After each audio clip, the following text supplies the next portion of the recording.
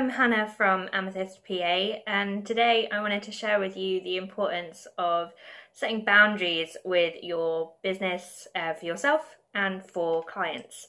So, when you run your own business, you really want to be the yes person. You want to say yes to everything and anything that a client says because, really, let's be honest, we want to do a good job. Um, and it can be really tough saying no.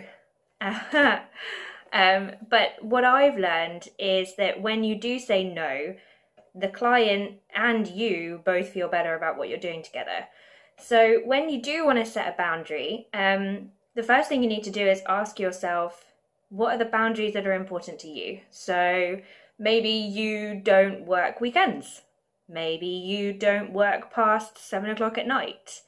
Uh, maybe you would prefer people to text you or confirm a call before they just pick up the phone and call you. Um, once you have these all set down, then you can tell clients this and then they know where they stand with you. Um, and then vice versa, if they have preferences, they then feel that they can be open and tell you the same sort of thing. So you're actually helping them by helping yourself. So that's my uh, tip for the day.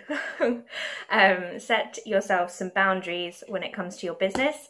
And if you have any um, issues with this or you're looking for a little bit of help, particularly with pricing, um, setting boundaries, or you're finding it difficult to sell um, without feeling like a salesperson, um, I'd love to invite you to um, one of our upcoming workshops uh, that I'm doing with the amazing Elaine Sullivan of Skybrook Consultants.